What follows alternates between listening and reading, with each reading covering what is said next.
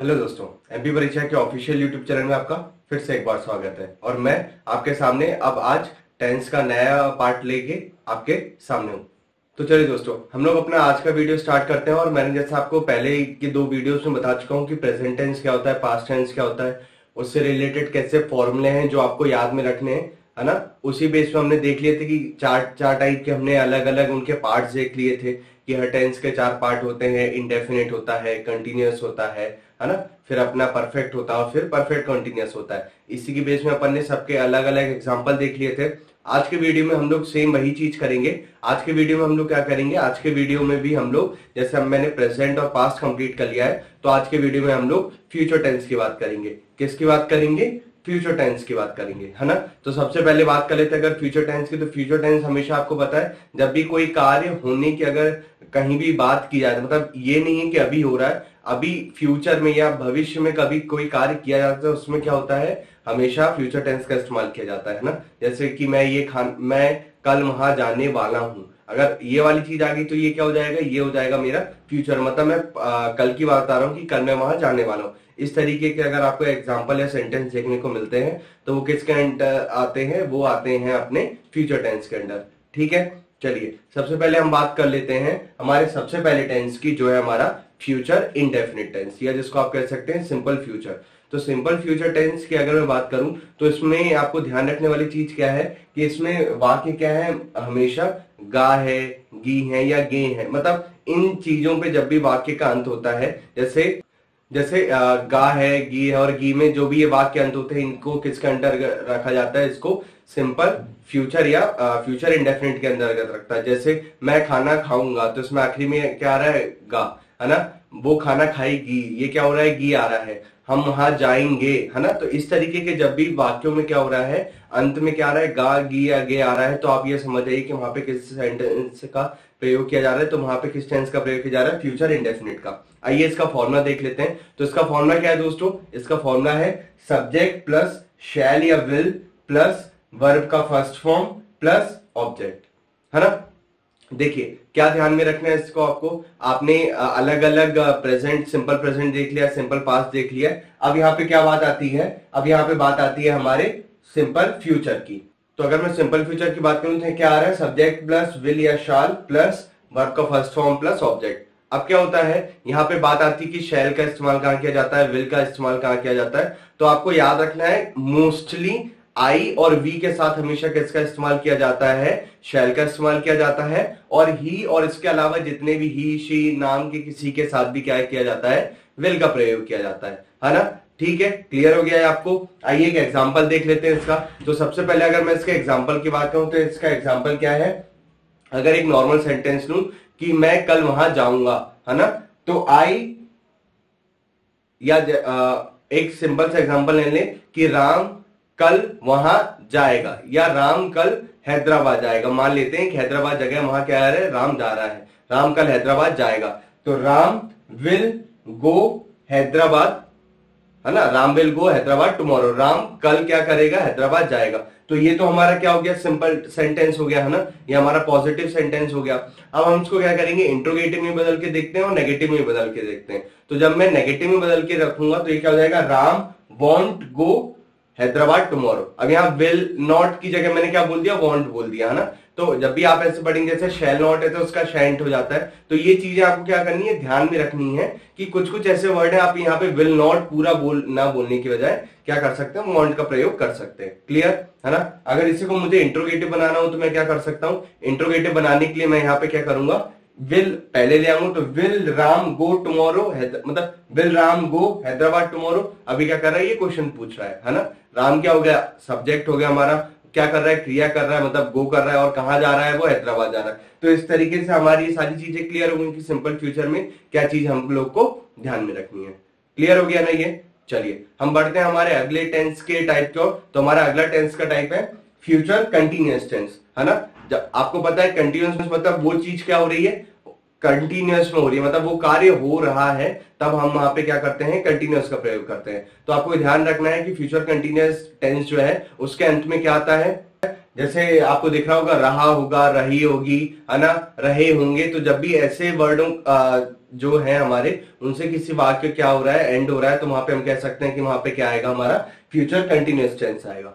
Clear हो गया ये, है ना? चलिए एक फॉर्मुला देख लेते हैं, इसका फॉर्मुला क्या होता है? तो इसका फॉर्मुला होता है, दोस्तों सब्जेक्ट प्लस विल शैल जो कॉमन चलेगा फ्यूचर में आपको हर जगह विल शैल मिलेगा। विल या शैल प्लस बी है ना? बी प्लस वर्ब का first form plus ING plus object अब यहाँ पे एक्स्ट्रा चीज़ क्या ऐड हो गई है? बी ऐड हो गई है है ना? तो ये आपको ध्यान रखना है। है ना? एक एग्ज़ाम्पल देख लेते हैं कि इसका एग्ज़ाम्पल अगर आ, कोई हम देखें उसके बेसिस पे हम समझ सकते हैं कि किस तरीके के फॉर्मूले को हम लोग इसमें इस्तेमाल कर सकते हैं।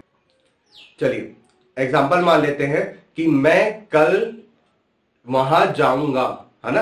अगर मैं कह रहा हूँ कि मैं कल वहाँ जाऊँगा तो I shall be going there tomorrow है ना? मैं कल वहाँ जाऊँगा तो I shall be going there tomorrow अब यहाँ पे क्या हो रहा है? मैंने बताया था आपको मोस्टली आई और वी के साथ किसका प्रयोग किया जाता है? शैल का प्रयोग किया जाता है। तो आई शेल हो गया, फिर मैंने क्या यूज़ किया? बी यूज़ किया, है ना? आई शेल बी गो क्या कर रहा हूँ? जा रहा हूँ तो उसमें मैंने वर्क का फ़र्स्ट फॉर्म आई जोड़ दिया तो I shall be going there tomorrow हो गया।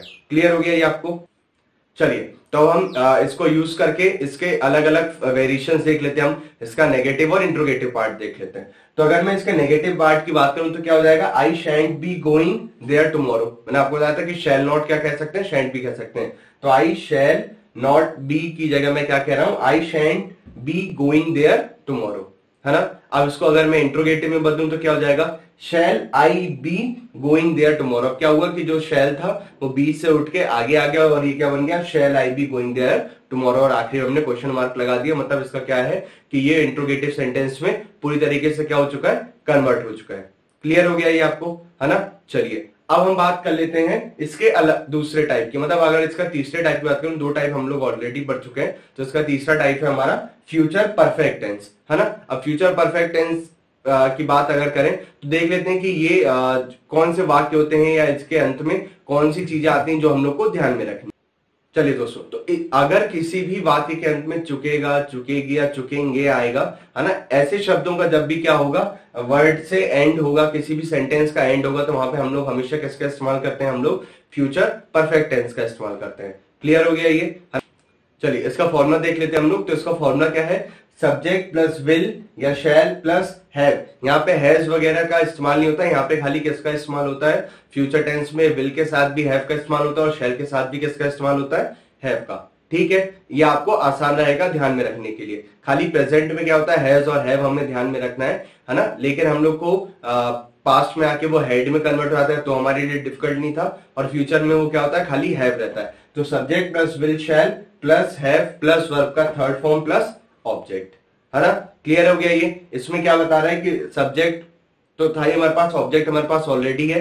वर्ब की थर्ड फॉर्म इस्तेमाल हो रही है, जो हमें पता है कि हर परफेक्ट टेंस में क्या होता है? वर्ब की थर्ड फॉर्म इस्तेमाल की जाती है। यहाँ पे जो हम फ्यूचर टेंस में पहले से लेके आ रहे हैं, वो क्या था? मिल और शैल हमें याद रखना है कि कंटिन्यू यही आएगा, है ना? और प्लस इसमें सबसे इंपॉर्टेंट चीज़ क्या ध्यान में रखनी है कि इसमें खाली और खाली किसका इस्तेमाल किया जाता है? हैव का इस्तेमाल किया जाता है। क्लियर हो गया? है ना? चलिए एग्ज़ाम्पल देख लेते हैं इसका। एग्ज़ाम्पल से आपको और क्या हो जाएगा? क्लियर हो जाएगा। चलिए तो इसका एग्ज़ाम्पल देख लेते हैं। तो इसका एग्ज़ाम्पल क्या होगा कि मैं ये होमवर्क कर चुका हूँ तो इसमें क्या हो जाएगा? इसमें आ जाएगा हमारा आई शैल हैव डन है ना? I shall have done this homework मैं ये होमवर्क कर चुका हूँ I shall have done this homework अब इसमें क्या हो रहा है? शेल का इस्तेमाल हो रहा है। मैंने आपको बताया आई के साथ मोस्टली किसका इस्तेमाल किया जाता है? शेल का इस्तेमाल किया जाता है। कुछ केस होते हैं वहाँ पे विल का इस्तेमाल भी किया जाता है, लेकिन वो केस क्या है, आपके एग्ज़ाम पॉइंट ऑफ़ व्यू से इंपॉर्टेंट नहीं है, इसलिए हम लोग खाली शेल पे ध्यान रखते हैं। तो आई शैल हैव क्या हो जाएगा? I shall have done this homework clear हो गया? यहाँ डन क्या हो गया? तो वर्ब का थर्ड फॉर्म हो गया। डू डिड डन है ना? ये थर्ड फॉर्म हो गया, है ना? ये क्लियर हो गया आपको, ये क्या सेंटेंस है? अब इसमें हम लोग क्या कर सकते हैं इसको? ये तो हमारा पॉजिटिव हो गया। इसी में हम नेगेटिव और इसको क्या कर सकते हैं? इंट्रोगेटिव में एक बार चेक कर लेते हैं। तो इंट्रोगेटिव में अगर चेक करूँगा तो क्या जाएगा? I shan't have done this homework मतलब मैं ये होमवर्क नहीं कर चुका हूँ क्लियर हो गया ये? अगर इसी को मुझे इंट्रोगेटिव करना है तो मैं क्या करूँगा? शैल को पहले ले आऊँगा तो आ जाएगा shall I have done this homework clear तो इस तरीके से क्या रखना है? आपको ये चीज़ याद रखना है कि किस तरीके से यहाँ पे क्या हो रहा है? नेगेटिव में किस तरीके से कन्वर्ट हो रहा है? और इंट्रोगेटिव में किस तरीके से सेंटेंस क्या किया जा रहा है? कन्वर्ट किया जा रहा है। है ना? चलिए, इसी नोट पे हम लोग क्या करते हैं? हमारे आखिरी टाइप का देख लेते हैं टेंस क्या होता है फ्यूचर में। तो हमारा सबसे आखिरी टाइप जो है, वो है हमारा फ्यूचर परफेक्ट कंटिन्यूस टेंस है ना? तो ये दोस्तों क्या है? इसमें आपको ध्यान में रखना है कि ये सबसे लास्ट हमारा टाइप है। इसके बाद क्या होगा? सारे टेंस खत्म हो जाएँगे। हमारा जो नेक्स्ट वीडियो होगा, उसमें हम लोग क्या करेंगे? हम लोग कन्वर्जन देखेंगे, किस तरीके की अगर हमारे पास कोई सेंटेंस प्रेजेंट में है तो उसको हम पास्ट में भी कन्वर्ट करके देखें, उसको हम फ्यूचर में भी कन्वर्ट करके देखें, ताकि आपको क्या होगा? ये एक रिवीजन हो जाएगा आपके सारे फॉर्मूले का, और आपको ये चीज़ क्या हो जाएगी? इजी हो जाएगी टेंस आपको फिगर आउट करना और उसको कन्वर्ट करना। है ना? जो आपके एग्ज़ाम में मोस्टली आता है कि convert the following sentence into tense particular tense दे दिया जाएगा ब्रैकेट में लिख के, है ना? या तो बोल दिया जाएगा कि ये कौन से टेंस का या फिगर आउट करो। तो ये सारी चीज़ें हम लोग हमारे नेक्स्ट वीडियो में करेंगे। लेकिन अभी हम लोग क्या बात कर रहे थे? फ्यूचर कंटिन्यूस टेंस की बात कर रहे हैं। तो फ्यूचर कंटिन्यूस टेंस में क्या ध्यान में रखना है कि इसका वाक्य में अंत क्या होता है? मतलब कौन से वाक्य में अगर अंत हो रहा है तो हमें पता चल जाएगा कि वहाँ पे क्या हो रहा है? फ्यूचर कंटिन्यूस टेंस का इस्तेमाल किया जा रहा है। चलिए तो अगर इसकी बात किया है तो ये ऐसे वाक्यों को दर्शाता है जो क्या होता है कि भविष्य में जाके पूरे होंगे, लेकिन क्या है, अभी चल रहे हैं, है ना? मतलब मान लीजिए कि मैं यहाँ से जा रहा हूँ और मैं वहाँ पहुँच जाऊँगा। तो अब क्या हो गया कि मैं यहाँ से जा रहा हूँ, ये काम तो चल रहा है मेरा, लेकिन मैं वहाँ पहुँच भी जाऊँगा, इस चीज़ की भी श्योरिटी है। तो जब ये पूरा एक प्रोसेस होता है तो वहाँ पे किसका इस्तेमाल किया जाता है? फ्यूचर परफेक्ट कंटिन्यूस टेंस का इस्तेमाल किया जाता है है ना? इसका फॉर्मुला देख लेते हैं हम लोग। तो अगर इसके फॉर्मुले की बात करूँ तो इसका फॉर्मुला है दोस्तों सब्जेक्ट प्लस विल या shall plus have plus been plus verb का first form plus ING plus object देखिए, सारे परफेक्ट कंटिन्यूस टेंस में आपको एक चीज़ कॉमन मिली होगी सब्जेक्ट ऑब्जेक्ट है ना?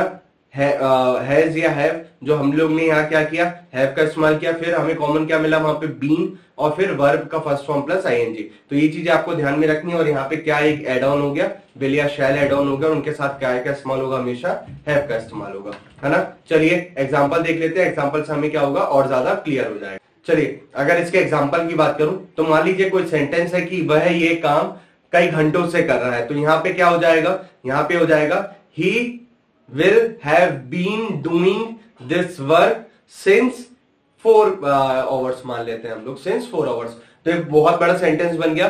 तो अगर मैं यहाँ सिंस फोर ईयर्स हटा दूँ तो भी एक सेंटेंस बन सकता है कि he will have been doing he will have है ना? He will have been doing this work ये भी क्या हो गया? हमारा एक सेंटेंस बन गया। मैंने इसको और एलिंगुएट करने के लिए वहाँ पे फॉर या सिंस का इस्तेमाल कर लिया है। लेकिन अभी आप उसमें मत आइए हम सिंपल सेंटेंस पे आते हैं। He will have done he will have अगर सेंटेंस की बात करें तो he will have been doing this work clear हो गया आपको सेंटेंस कि he will have been doing this work he के साथ और शी के साथ हमेशा मैंने आपको क्या बताया? कि ही शी और किसी प्रकार के नाम आ रहे तो वहाँ पे किसका इस्तेमाल किया जाता है? विल का इस्तेमाल किया जाता है। है ना? अगर इसी को मैं नेगेटिव में बदलूं तो नेगेटिव में क्या हो जाएगा? He won't have been doing this work है ना? और इसी को अगर मुझे क्या करना है इंट्रोगेटिव में बदलना है तो क्या हो जाएगा?